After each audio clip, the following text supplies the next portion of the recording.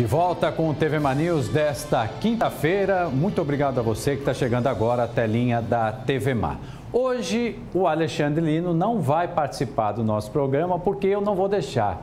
Afinal de contas, ele ia tirar sarro porque o São Paulo perdeu ontem Perdeu não, empatou, mas saiu. Deixou a pré, pré, pré, pré, pré, pré Libertadores. Uma vergonha sem tamanho. Então, todos os detalhes do esporte no canal Esportes com o nosso querido Alexandre Lino, Viderlan Araújo e o descomentarista Márcio André. Olha, o carnaval movimenta a economia e você que quer vender algum produto deverá seguir algumas regras. E os detalhes com Viderlan Araújo. E o carnaval está se aproximando e para quem quer participar das prévias, quem quer aproveitar esse período para faturar um dinheiro extra, os vendedores ambulantes precisam entrar num processo de formalização. E nós vamos conversar a respeito desse assunto, até porque a Secretaria de Convívio Social tem tentado ordenar da maneira como pode as coisas e fazer com que a festa fique mais bonita. Não é só no dia a dia com os trabalhos junto aos ambulantes no centro de Maceió, mas também nesse período de prévias de carnaval que está se aproximando. O Coronel Adilson Bispo, que é diretor de convívio social da SESC, conversa conosco a respeito desse assunto. O, o Coronel, explica pra gente o que é que o ambulante vai precisar fazer para poder se adequar às normas e ganhar um dinheiro extra nessas prévias de carnaval que se aproxima. Bom dia. Bom, bom dia, como você já bem colocou, é fundamental essa organização, principalmente nesse período carnavalesco que muitas pessoas terminam se colocando e se conduzindo a um determinado local. Então a nossa responsabilidade e compromisso vem exatamente nesse ordenamento e fizemos um chamamento a todos, inclusive encerrando o prazo agora dia 15, para que compareçam à secretaria exatamente para viabilizar esse cadastro. A partir daí, com a quantidade exata, a secretaria vai ter condições de definir o local exato dentro do contexto da festa, para que, lógico, cada um possa, quem, quem quiser brincar, brincar e quem quiser também aproveitar para ganhar e render um faturamento, sim também para as pessoas que, porventura, venham proceder dessa forma, estarão correndo o risco de ter esse material apreendido. Então, é fundamental esse cadastro para a Prefeitura ter com exatidão a quantidade e assim poder dispor todos na, naquele determinado espaço que ele requer. Né? Nós vamos ter principalmente as prévias, que dia 22, 23 sexta, sábado e domingo, Jaraguá e Orla, então nós temos que obrigatoriamente organizar e ordená-los dentro desse espaço. Então é fundamental essa informação. Como é que será feito isso? Vai ser distribuído selos para saber que aquele ambulante está cadastrado, que ele deve apresentar no momento de uma abordagem dos fiscais? Perfeito. É, na verdade, a partir da próxima semana nós vamos estar entregando crachás autorizativos e identificativos é importante destacar também que um dia antes nós vamos estar com todas as equipes definindo os locais exatos para facilitar, para que ele tenha a compreensão do local exato e possa é, garantir o seu, aquele, naquele período o seu dinheirinho extra, que isso é importante, a gente também tem que dar esse apoio e esse suporte que é preciso fazer para poder se cadastrar, para poder ficar dentro de uma condição normal, regularizado, junto à prefeitura, o ambulante? Olha, o interessado deve procurar a nossa secretaria, que fica aqui no Jaraguá, próximo ao VLT, no horário de 8 às 14 horas, munido de cópia de documentos individuais, RG, CPF comprovante de residência. Lá ele vai preencher um requerimento identificando exatamente a atividade e o produto que ele quer comercializar. E a respeito de taxas, existe algum valor que se paga à prefeitura? Tem um valor que ele vai pagar pela taxa do, do solo, a depender do espaço que ele vai solicitar, esse valor é calculado em cima dessa metragem. O valor do uso do solo, que não é, varia entre torno de 40 a 70 reais. E a respeito da condição daquele que não vai ter um ponto fixo, que vai estar circulando lá dentro também, como é que é feita essa base de cálculo, coronel? Olha, é em cima do equipamento, da atividade que ele vai exercer. Então tudo depende da, do que ele pretende e o que ele de fato vai a forma como ele vai se conduzir. Então é em cima disso que se calcula esse valor. É preciso se adequar às normas estabelecidas pela Prefeitura, pelo que rege também a lei, para poder evitar transtornos. Imagens de Flávio Santos, Viderlan Araújo, para a TV Mar, canal 25 na NET. Muito obrigado ao Viderlan Araújo. Agora sim vamos ver o Carnaval Cristão. Roda. Alegra-te, carnaval não é mais apenas só simplesmente uma festa profana. Todos, de qualquer matiz religioso, pode sim fazer parte dessa festa da alegria, da tradição. E o Encontro de Jovens com Cristo está promovendo esse carnaval. É a comunidade jovem lá do bairro de Bebedouro, da paróquia de Santo Antônio. E eu vou conversar com esse casal jovem que aqui está, para lhe convidar também para este grande carnaval tradicional com muita fé e com Cristo. Vamos conversar aqui com Adalto Antônio Araújo, que fala de alegria e de convite para esse pessoal. É preciso alegrar-te no Senhor. Isso mesmo. A gente está aqui passando né, para convidar. O AJC Bebedouro tem 18 anos e a gente já está na terceira edição do nosso Alegra-te. E a gente queria convidar, né? Uma festa familiar que tem concursos de fantasias para crianças, para adultos, que a gente convida toda a comunidade de Bebedouro, mas também todas as outras comunidades, né?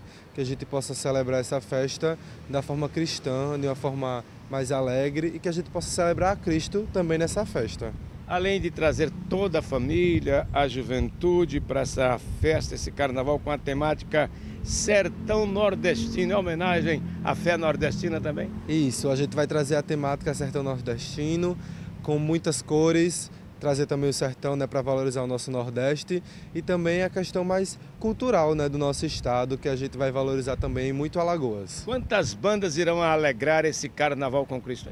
Serão duas bandas, Classe Frevo e Mensageiros de Cristo. Mensageiros de Cristo será uma banda que traz a temática católica, de músicas católicas, mas também em outros ritmos musicais. Alegra-te porque o carnaval está aí, tem que ter muita fé, muito amor acima de tudo. O Stefano Lima está aqui conosco, sempre feliz da vida, sorridente. Lá em Bebedouro, nos fale da, da programação, em termos de horário, como é que vai acontecer? Esse ano a gente vai ter o bloquinho, né? Então a gente vai realizar esse bloco pelas ruas do bairro iniciando após a missa, no horário das 8h30. Iremos fazer uma concentração, vai ter trio elétrico, vai ter todo o frevo, toda a animação, todo mundo fantasiado para curtir esse momento. E depois disso a gente vai voltar para o ginásio, que é ao lado da igreja, que é o ginásio Santo Antônio de Pádua, e lá a gente vai realizar o nosso momento com as bandas, o concurso de fantasia, lá vai ter muita comida e bebida muito boa que a galera está organizando, os nossos jovens, todos juntos em prol desse movimento, desse movimento que quer arrecadar mais fundos para poder a gente trazer mais jovens para dentro da igreja para viver cada dia mais engajado. Agora tem que também ter, já que vai haver uma contribuição, uma taxinha, tem que ser preço para estudante, não? Isso. A gente está com lote promocional agora. O ingresso individual custa R$ reais e para casal 10. No horário, a gente vai estar tá vendendo a 7 e casal a 12. Só é procurar um da gente pode entrar também nas redes sociais da gente, que é o arroba JCBBedouro, para mais informações. Se quiser saber melhor como vai funcionar o bloquinho, as bandas, lá tem vídeo, lá tem tudo, informando tudo bem direitinho. Então convida todo mundo aí para essa festa, vai lá. Vem todo mundo participar com a gente, esse momento vai ser único e a gente conta com você, não somente de Bebedouro, mas de, todo, de toda a Maceió. Venha participar com a gente é a festa de um carnaval de pureza, de amor, daquele amor mais puro, mais respeitoso e, acima de tudo, elevando o nosso coração e agradecer a Deus os momentos de felicidade e alegria que também tem, todos nós temos. Com as imagens do Chico Nogueira, Fernando Palmeira para a TV Mar, da organização Arnoldo Melo, no canal 25 da NET. Se depender da simpatia do nosso repórter, o mais bonito do Brasil, Fernando Palmeira, e dos entrevistados, esse carnaval com certeza vai ser muito, muito, muito legal. Olha, gente, nesta câmera aqui a gente vai chamar a última reportagem de hoje, que acaba de chegar, uma manifestação marcada para esta quinta-feira, feita pelos servidores da Casal contra uma possível privatização da companhia. O Vida Araújo é que chega com os detalhes.